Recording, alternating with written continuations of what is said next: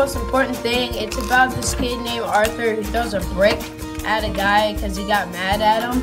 And then after going to juvie, he has to uh, serve community hours for the guy that he threw the brick at. And then he goes around collecting junk. And then so the, um, the Mr. Hampton, the guy he threw the brick at, can build something. Yeah.